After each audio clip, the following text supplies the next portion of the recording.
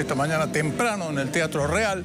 El que asumía su cargo era Martín Yayora como nuevo intendente de la ciudad capital. Este es el momento precisamente en que Martín, que como se sabe había sido consagrado originariamente eh, vicegobernador de la provincia, después se fue como candidato, fue primer candidato a diputado nacional y en consecuencia se fue como diputado nacional y ahora encabezó la fórmula que ha hecho que por primera vez en mucho tiempo esté alineado el gobierno municipal con el gobierno provincial. Ahí estaba llegando el presidente, el intendente saliente, Ramón Mestre, y era el momento del juramento, repetimos allí, en el Teatro Real.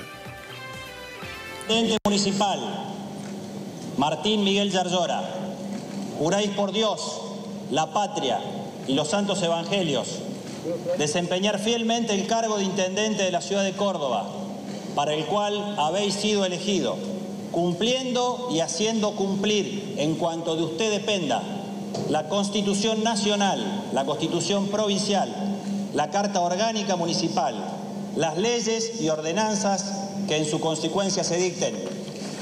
Sí, juro. Si así no lo que Dios y la patria os lo demanden. Señoras y señores, el doctor Martín Zarzora es el flamante intendente de la ciudad de Córdoba.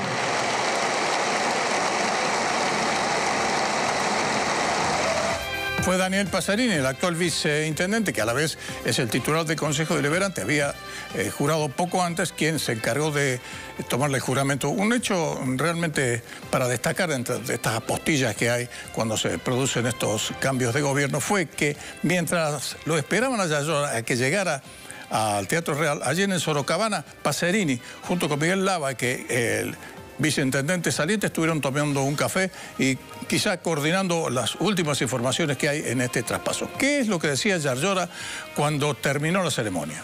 Sabrán que estamos en emergencia ambiental, con lo cual hoy Córdoba eh, está con un gran problema. Eh, Bajo Grande ya si sigue contaminando de esta manera va a ser una de las contaminaciones más grandes de la, de la Argentina.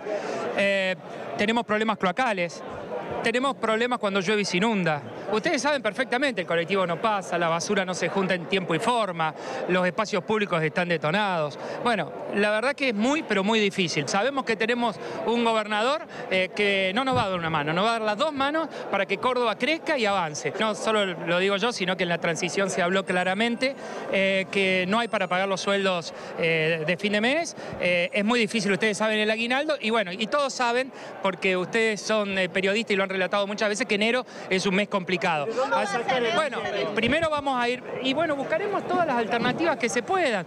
tenemos que estar, por supuesto, en la en la gestión. Eh, una vez que, estemos ahí, veremos toda la alternativa que se pueda para regularizar las situaciones. Recuerden que no solo son los sueldos, tenemos los proveedores. El municipio presta muchísimos servicios esenciales también, en la salud, en la comida. Hoy estamos en un momento muy, pero muy difícil.